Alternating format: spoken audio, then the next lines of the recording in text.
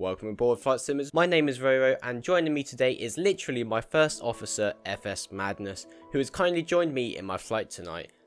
Before we show you how we turned our sims into a shared cockpit experience, we would like to talk to you about our brand new Discord. Information Alpha has now launched a new and up-to-date Discord server where all flight simmers can join and share their flight experiences.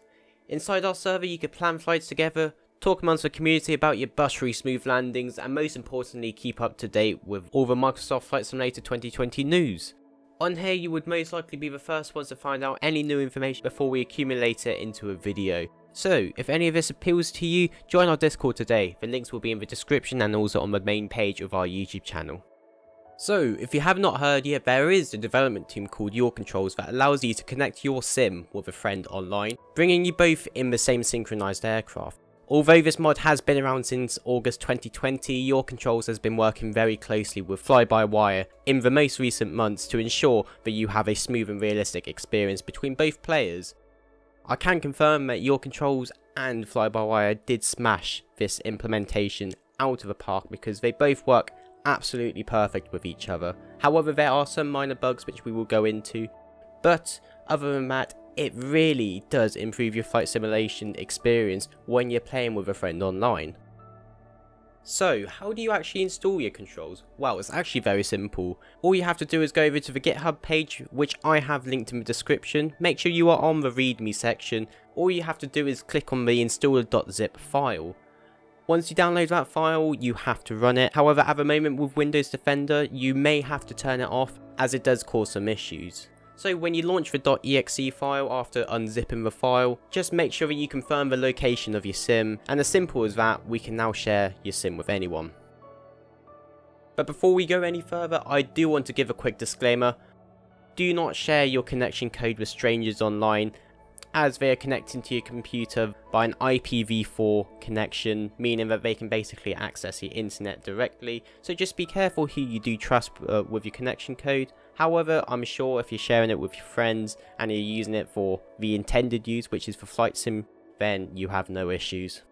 Now, before I scare you away knowing that dangerous information, you need to enter your username and also select your aircraft with mine being the fly-by-wire A32NX or the A320neo, which is very compatible with this software as both dev teams have been working very closely with each other. Then all you have to do is just press start to create the host. Simple as that, you have now created your own host or your server, uh, and then you could give your code to your trustworthy friend, so mine being FS Madness.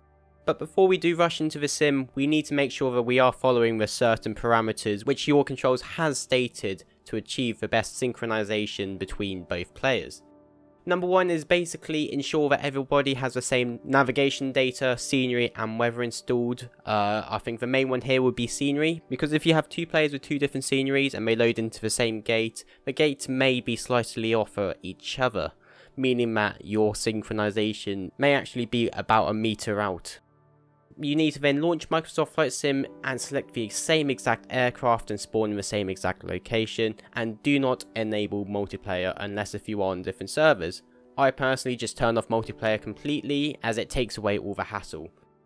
And then once everyone has spawned in you can then launch the software but do not run it as an administrator and then once you have launched your game and you are in the aircraft, do not touch any of the avionics. Because if you switch on a certain switch and then synchronize to your other player, their other switch will actually be off, meaning that they are inverted.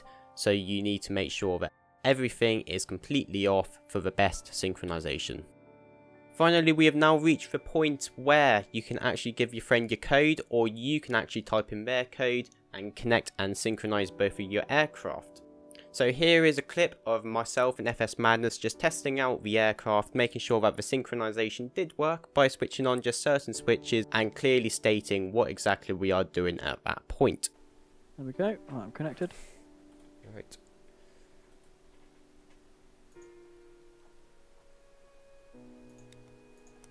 Oh! oh I'm gonna turn the APU on, you ready? This works absolutely amazingly. What the? So, as you can very clearly see, myself and FS Madness was actually very excited because, well, we haven't actually experienced a fully functional shared cockpit experience without having loads of bugs and issues before. So, For this to work as a freeware software absolutely blew our minds. Now that we have successfully connected our sims together and they are completely synchronized with each other, we decided to mess around and taxi around and also do a quick takeoff. However, where there is good, there is also bad. Although the connection was absolutely phenomenal, with little to low latency issues or lag, however there are some bugs which still need to be fixed. The first issue that we found was a very funny one actually. It was when you are transferring controls between players on the software when you are connected to a tug and unfortunately it looks like you are Snoop Dogg 747 with hydraulics on steroids bouncing you up and down. Now as much as I would love to see that sight, I also believe this could cause other issues when it comes to synchronization. As the aircraft is moving quite sporadically, it may actually desynchronize yourself from your other player. However, after this case, it didn't actually do that, so thankfully we didn't have any issues like that today. Even though there are still a few apparent bugs which do need to fix, myself and FS Madness were still blown away by the level of quality and the stability of this mod. Bear in mind it is still in a development stage we cannot fault it at all, especially with it being a free mod. So after using it for a little while, here are some clips of myself and FS Madness using it in the way it's intended to be used.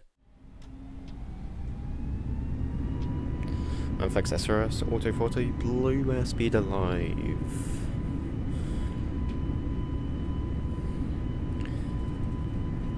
Eighty knots. Bit of a crosswind.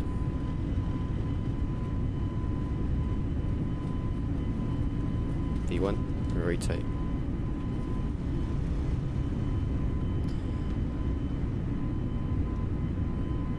Gear up. Gears coming up.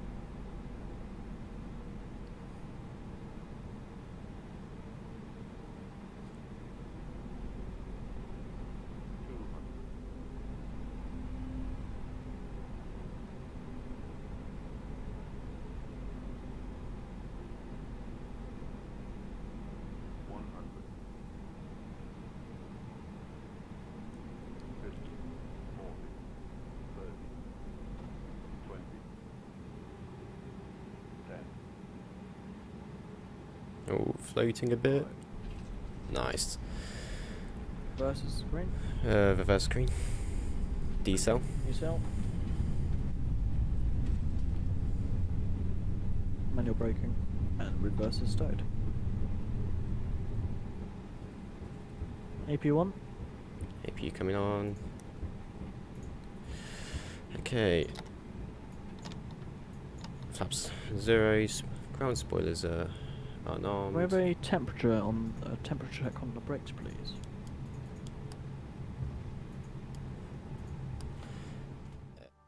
And that is it. That is the Your Controls mod. To be honest, it is actually probably one of the best mods I've actually tried on this game so far. Even though it isn't too popular, I still believe it is probably one of the best. The actual quality, the quality of it is just unbelievable compared to previous shared cockpit mods. So if I was to rate this mod out of 10, I'd probably give it about a 9. I know that is very high and I don't give mods and add-ons quite high scores quite often purely because, well, I I'm just entirely blown away by how amazing and stable this mod really is. Other than that guys, I really hope you enjoyed this video. We have been Information Alpha. See you in the next video. See you later, bye.